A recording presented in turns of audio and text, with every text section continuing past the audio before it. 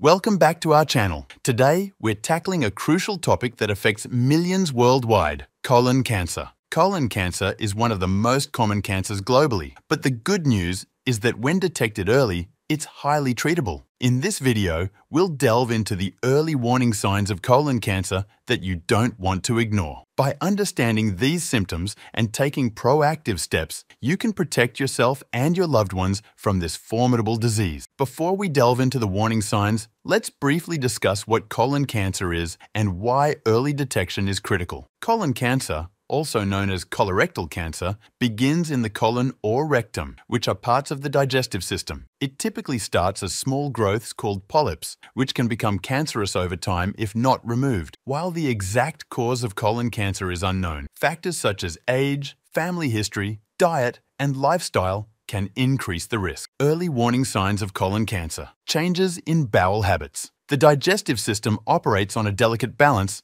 and changes in bowel habits can often signal underlying issues. While occasional fluctuations in bowel movements are common and typically harmless, persistent changes that endure for more than a few days warrant attention, especially if they're unexplained. Persistent diarrhea, characterized by frequent, loose, or watery stools, can be a symptom of various gastrointestinal conditions, including infections, inflammatory bowel disease, or irritable bowel syndrome. However, if diarrhea persists without an obvious cause and is accompanied by other symptoms such as abdominal pain, rectal bleeding, or unexplained weight loss, it could indicate a more serious underlying issue such as colon cancer. Conversely, persistent constipation, marked by infrequent bowel movements or difficulty passing stool, can also be concerning, particularly if it's a departure from your usual bowel habits. Constipation can occur due to factors such as dietary changes, dehydration, or lack of physical activity. However, if constipation persists despite efforts to alleviate it, or if it's accompanied by symptoms such as abdominal pain, bloating, or rectal bleeding,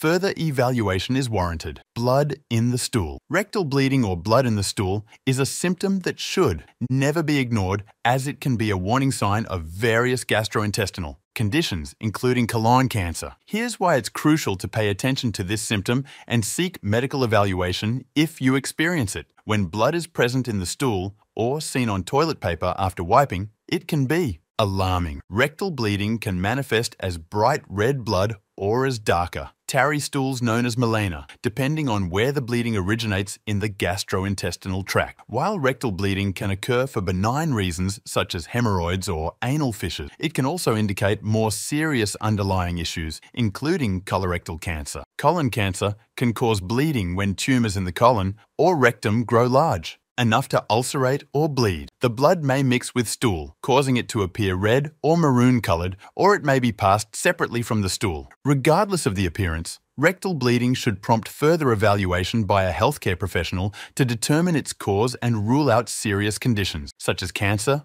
abdominal discomfort, persistent abdominal pain, cramping, or discomfort, especially if it's localized to the lower abdomen, can be indicative of various gastrointestinal issues, including colorectal cancer. Understanding the nature of this discomfort and its potential implications is crucial for early detection and treatment. Here's why you should pay attention to abdominal pain and seek medical evaluation if you experience it. Abdominal pain or discomfort that persists over time, particularly if it's localized to the lower abdomen, may be a sign of underlying gastrointestinal pathology. In the context of colorectal cancer, abdominal pain can occur when tumors in the colon or rectum grow large enough to cause pressure on nearby structures or obstruct the bowel. This discomfort may manifest as cramping, aching, or a sense of fullness or pressure in the abdomen. It may come and go or be constant, and it may worsen with certain activities such as eating or bowel movements. Some individuals may also experience bloating, gas, or changes in bowel habits alongside abdominal pain. Unexplained weight loss. Unexplained weight loss is a concerning symptom. That should not be overlooked as it can sometimes be an early warning sign of underlying health issues, including colon cancer. Here's why unintentional weight loss should prompt further evaluation. When individuals lose weight unintentionally, meaning they haven't made any deliberate changes to their diet or exercise routine,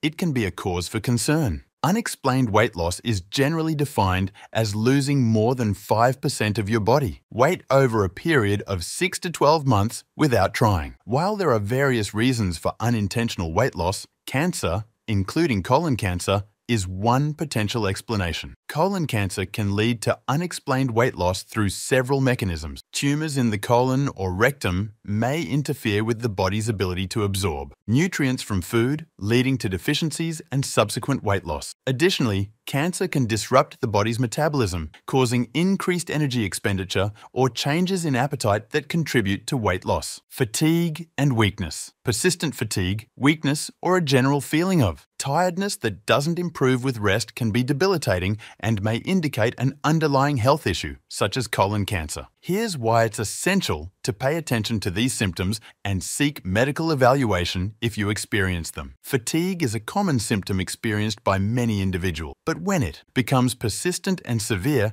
it can significantly impact quality of life and functioning. Cancer related fatigue, in particular, is often described as overwhelming and unrelenting, not alleviated by sleep or rest. Colon cancer can cause fatigue through various mechanisms. Tumors in the colon or rectum may lead to chronic blood loss, resulting in anemia, which is characterized by a decreased number of red blood cells and reduced oxygen carrying capacity of the blood. Anemia can cause fatigue, weakness, and shortness of breath as the body struggles to meet its oxygen demand. Iron deficiency anemia. It's important to note that while iron deficiency anemia can be caused by various factors, including dietary deficiencies and other gastrointestinal conditions, chronic bleeding from colon cancer is a significant risk factor. Colon cancer can lead to occult, hidden, or overt bleeding in the digestive tract, which, if left untreated, can result in progressive iron deficiency anemia and its associated symptoms. If you experience symptoms of iron deficiency anemia, it's essential to seek medical evaluation to determine the underlying cause and receive appropriate treatment. Your healthcare provider may perform blood tests to assess your iron levels and may recommend further diagnostic tests such as colonoscopy. 2.